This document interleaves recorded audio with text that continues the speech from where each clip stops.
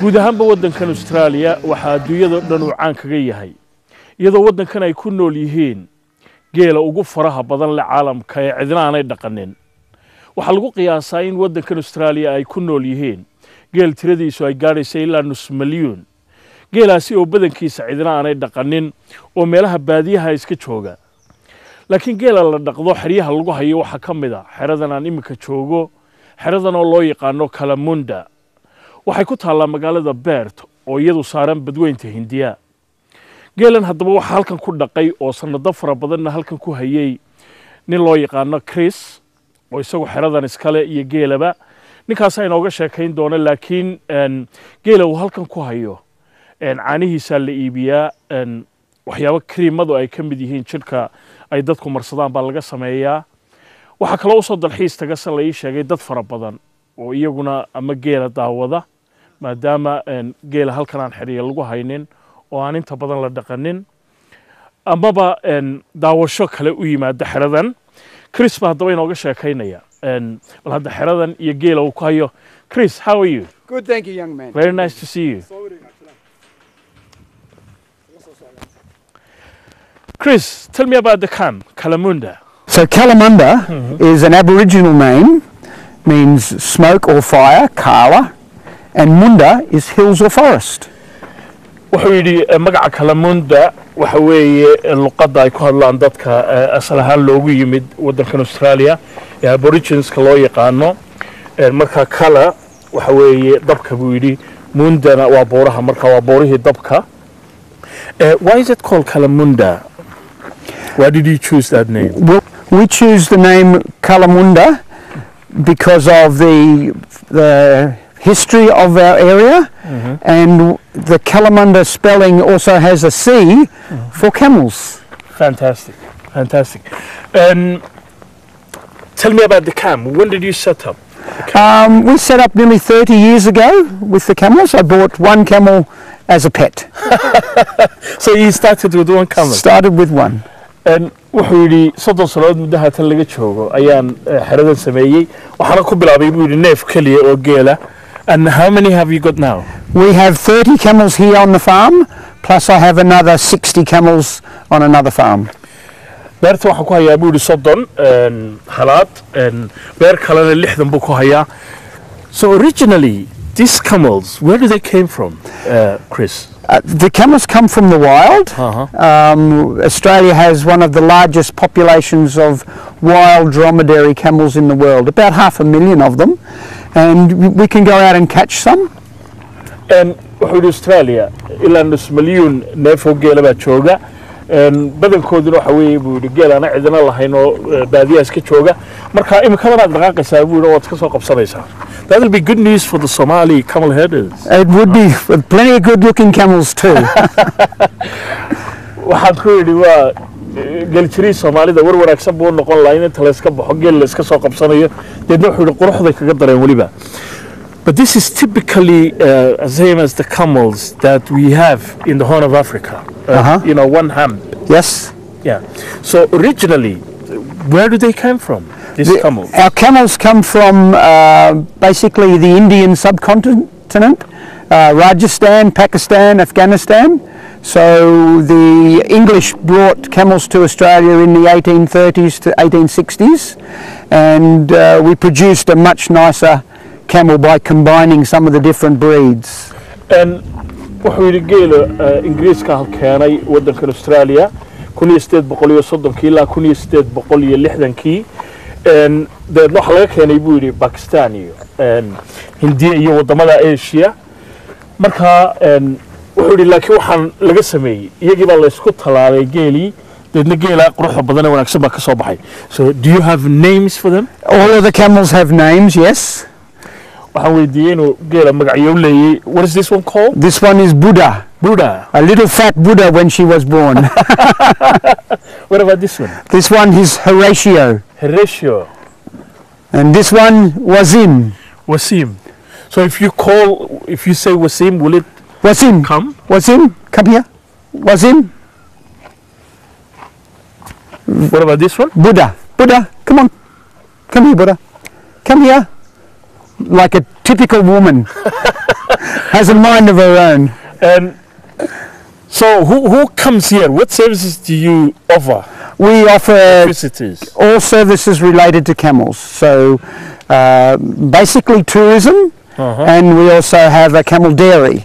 Right. So we milk the camels, and we take people for camel rides, um, and we provide services to the industry who need camels. So n wuxuu yidhi dadka dalxiiskaaba halkan soo booqda beertan waxaa kaloo aanu samaynaa buu yidhi caanaha geela laga liso oo halkan lagu iibiyo iyo waxyaabaha kale ee la manaafacadsado ee geela laga helo So tell me, Chris, how many camps like this are in Australia? Uh, domesticated um, camels.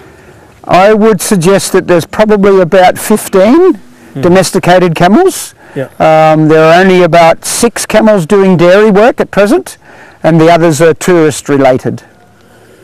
Een, wuxuu yidhi ilaa shan iyo toban xero ayaa jira australia geela lagu hayo qaar baa jira caanaha iyo waxaa iibiya but uh, according to research um, camel milk has many many uh, health benefits so why do you think there's no more camps The the camel dairy industry, there are very few good quality camels in captivity, domesticated, um, and the industry is very young.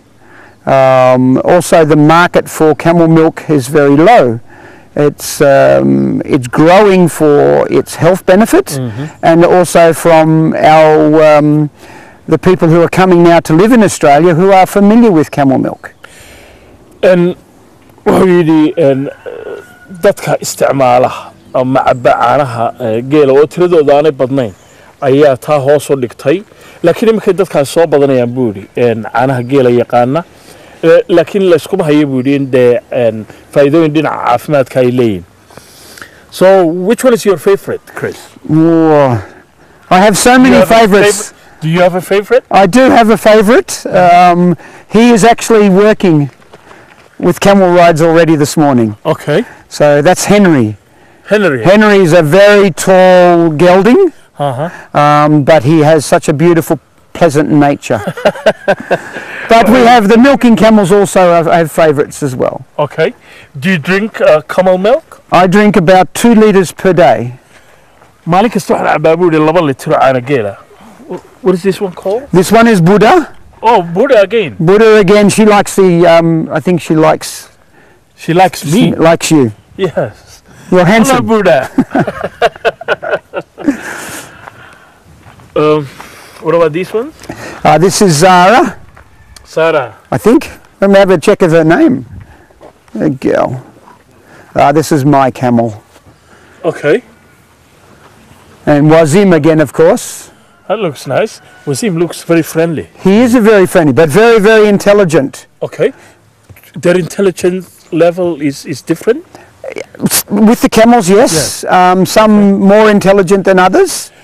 And wuxuu yidhi een, wasiim oo kale waa geela ugu caqliga badan buu yidhi deedna waxaan weydiiyey miyay kala fahmo badan yihiin deedna wuxuu yidhi ha way kala fahmo badan yihiin wasiim oo kale ugu khatarsan buu yidhi fahmada markay timaado so how many uh, liters of milk Uh, different camels, different camels give different liters. uh-huh. The best camel that I had, Uh-huh. uh, she gave 14 liters 14 liters in one, in one day. One day She did seven and a half in the morning and six and a half in the afternoon. wuxuu yidhi hasha ugu caanaha badan leh afar iyo toban litir baa maalin keliya laga maalay toddoba litir iyo badh subaxdiya iyo toddoba litir iyo badh eh, makhribkiya um, so where do you market uh, the milk Uh, we market the milk to the health industry Uh-huh. and we sell it all across Australia. okay We send, we can have the milk on the plane and in your city overnight. right um, caanaha waxaanu ka iibinaa buu yidhi australia oo dhan oo een, suuqyada laga helo een, waxyaaba caafimaadka loo adeegsado ayaa lagu hayaa how much do you sell it for uh, chris We sell it liter. $25 a litre. shan iyo labaatan dollar baa literkii la siiyaa uh, caana geela australia En marka dollarka maraykanka marka loo eego ilaa eh, labaatan dollar bay noqonaysaa waxaan xusuustaa hargeysa literka waxaa lanaga siin jiray saddex dollar dee dabcan waa laba adduunyo kala duwan oo laysma barbar dhigi karo laakiin saddex liter baa lanaga siin jiray What about this one? These are our milking camels. I, we're going to milk those this morning.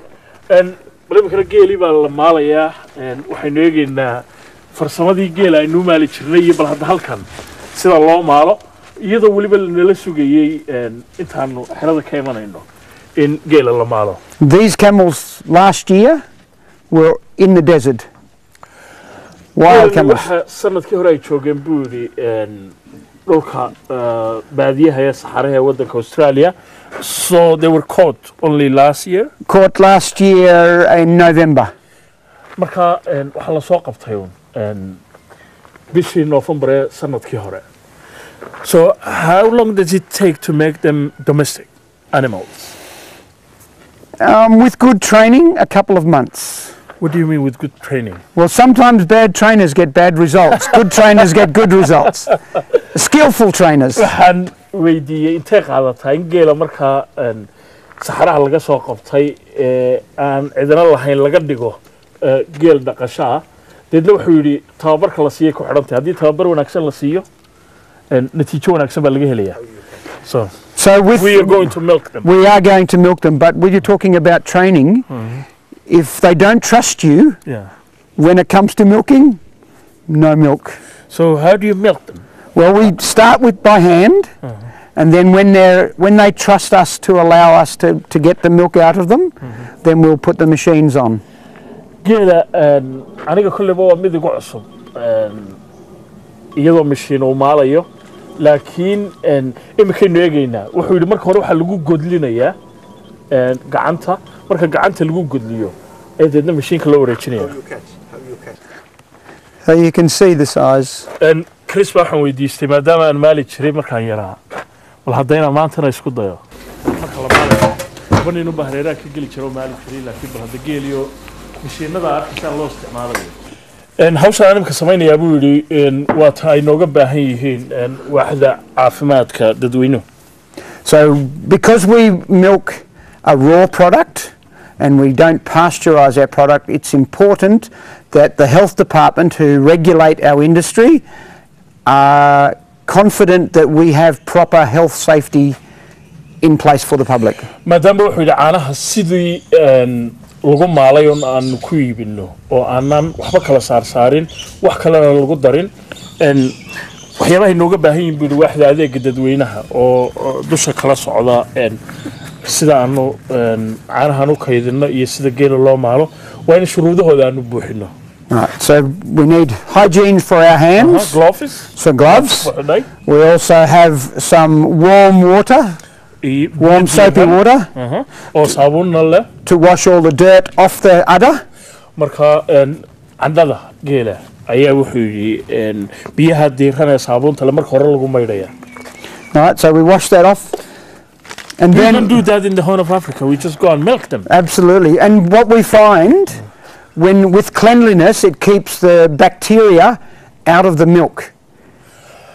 waxaan weydiiyey chris in en, dhulka geeska africa xoolaha lagu dhaqdo dee marka la soo xareeyo in layska maalo deedna wuxuu yidhi marka sidanoo kale loo maydho candhada. Waxay ka yaraynaysaa bakteriyadii caanaha soo raaci lahayd.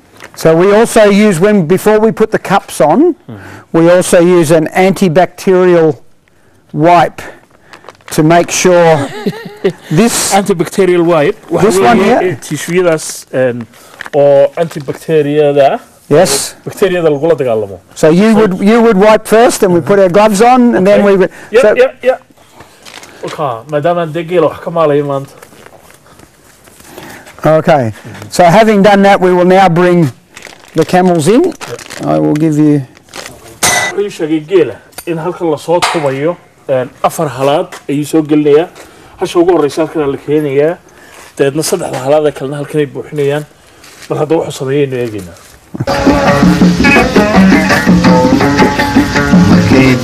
raawunaan geedduuna dhachoogaan talawada dhamaan kukudiinin hirtu wadabaa sanaate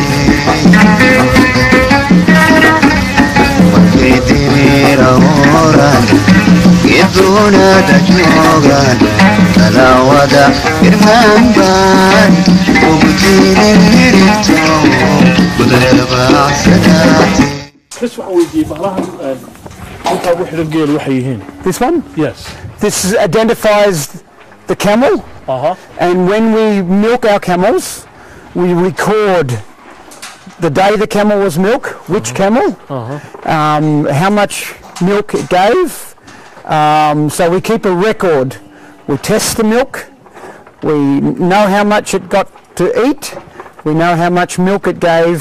n chris wuxuu yidhi calaamadda halkan surani waxaa lagu garanayaa n goortii geela la maalay i- intii caanayaal laga maalay geela cuntadii la siiyey caanaha n xitaa laga maalay sida ay yihiin taya ahaan Okay, so now we we will go. we'll go we'll go around this way because you're much skinnier than me. Okay. Right? n maadaama geelan eh, dawaanu laga soo qabtay dhulka saxaraha deedna chris wuxuu ii sheegay in n mararka qaarkood ay ku haraatiyayaan oo weli aanay la qabsan in la maalo deedna waa kaa xadhigga ku xidhaya To um to milk, whereas the more domestic camels. they get used to they get used to it. So just for safety, we will make sure her leg doesn't move around too much. The camels that I've had for 10 to 15, 20 years, they will just stand like the Somali camels. wuxuu yidhi geelaan eh, eh, tobanka sannadood iyo labaatanka sannadood iyo halkan ku hayay Eh, iyagu caadi ula qabsadeen buu yidhi oo si caadiya loo maalaa Okay? Depending on where your vision is. Yeah. So this, marka hore waa la maydhaya candhada la maydhaya sida arkaysaan Een, een, hashiina weli een, ma xasilin candhadii baa la maydhay biyo diirsan oo saabuunna leh dadna sidii kalesu inoo sheegay waxay taasi joojinaysaa in een, bakteeriyadu caanaha ay soo raacaan maadaama geelu xerada meelo fara badan uu ka fadhiisanayo een, waxyaabo kale laga yaabo inay taataabtaan marka markii uu maydhay een, iminkana waa kaa chris een, tishugii ama warqadii yarayd ee antibacteriada ahayd. Ee bacteriyada lagula dagaalamayey ayuu deedna u raaciyey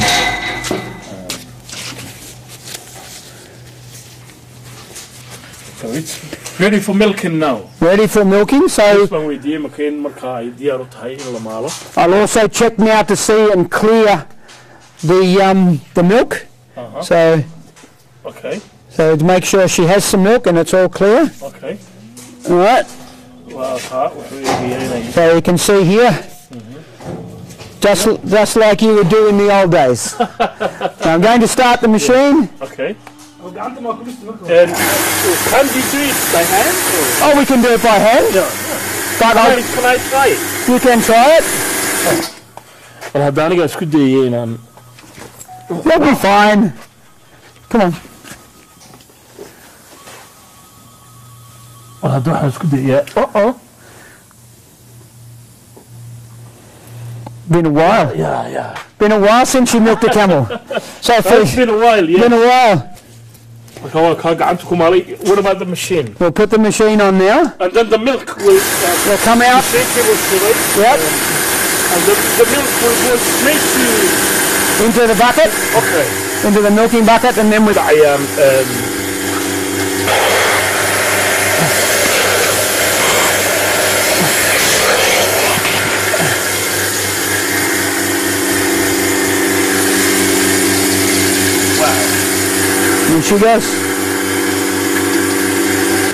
Weydiiyey geela uu leeyahay soo loo qaado la maalayo oo kale sida em, ee geyiga soomaalida ka dhacda baan u shidaa qiyaas marka marka dambe hadday heeska kugu adkaato radio kuu dhow baad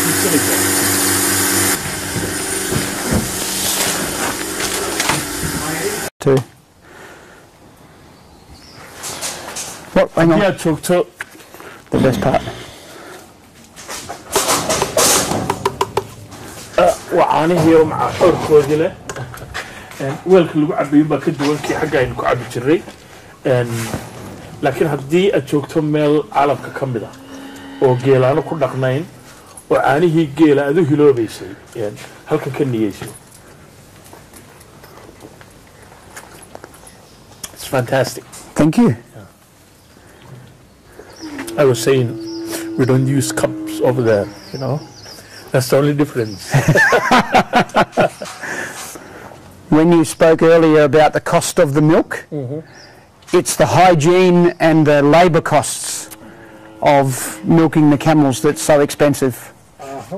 Um, Wuxuu sheegay in um, een, marka qiimaha laga hadlayo maadaama literkii uu yahay um, een, shan iyo labaatan dollar oo lacagta australia oo u dhiganta labaatan dollar oo lacagta maraykanka ah wuxuu sheegay in hawsha maalitaanka xoolaha iyo hayntooda kharash badan uu ku baxo oo saa daraaddeed caanuhu ay qaali u yihiin so if, if more and more people um, in Australia uh, drink camel milk, do you think the price will go down? Oh, definitely, absolutely.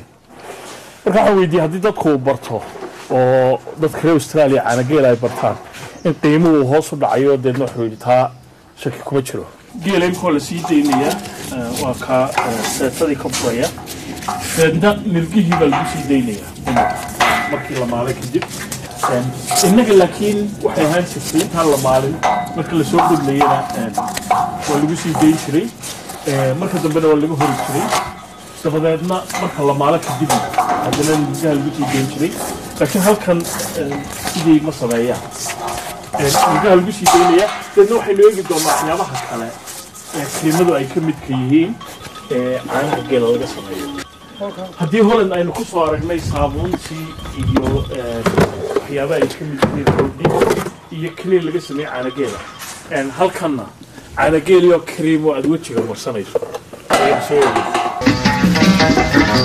gabna kuma daryeesho marti kuma deeqdo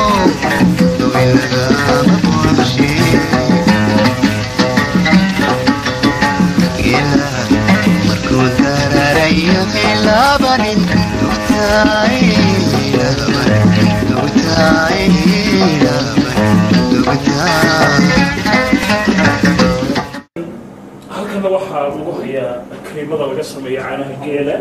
Manajkii hore ee waddanka holland ka soo sameeyey ee xerada geela. Een, waxaynu soo aragnay caanihii oo laga sameeyey eh, kaniin iyo caanihii oo laga sameeyey saabuun ta jidhka iyo roodhi xitaa malaha shaygii ka maqnaa australia noogu nimi Een, sida arkaysa waxa weeye cream laga sameeyey caanihii geela. Oo inkastoo sidii caanihii geela aan u ureynin haddana markaad marsato ila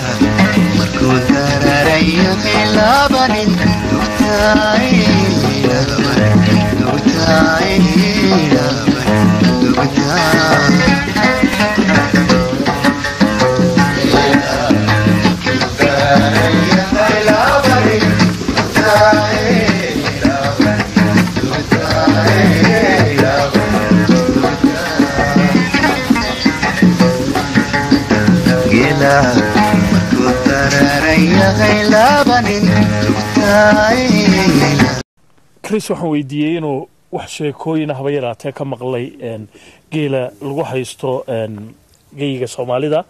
Dadna wuxuu sheegay inaanu wax badan ka maqlin laakiin waxa keliya uu ka maqlay ay tahay een, geelaasoo ah buu yidhi geela aada u dheereeya iyo een, caano fara badan oo si dhaqsaa looga liso.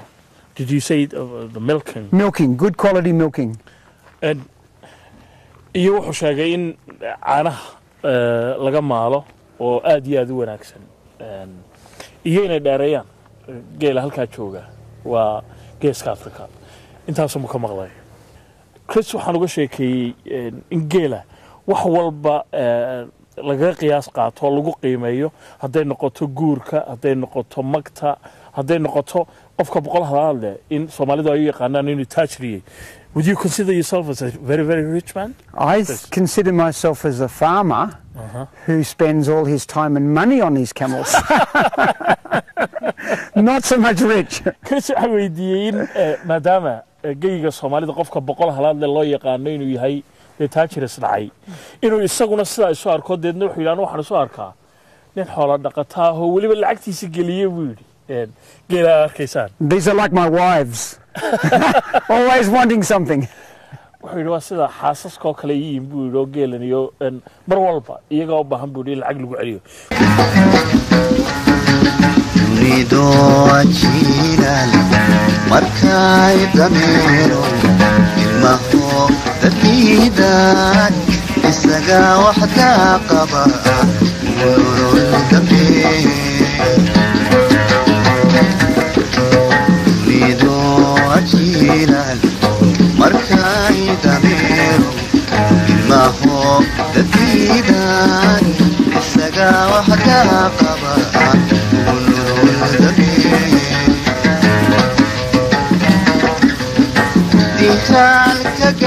gaajada isaga u dulqaato abarkaaga I heard when there is an increase or large increase of camel population, then the government starts to cull them or kill them. Yes, Tell me about it.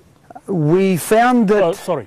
waxaan kris weydiiyey in een, geela waddankan australia waxyaabahan ka maqlay oo ay ka mid tahay in marka tiradiisu ay aada u badato in qandaraas ay ku bixiso si loo laayo ama magaalooyinka looga inuu dadka We found that some of the stations that have cattle on their properties were having trouble with camels.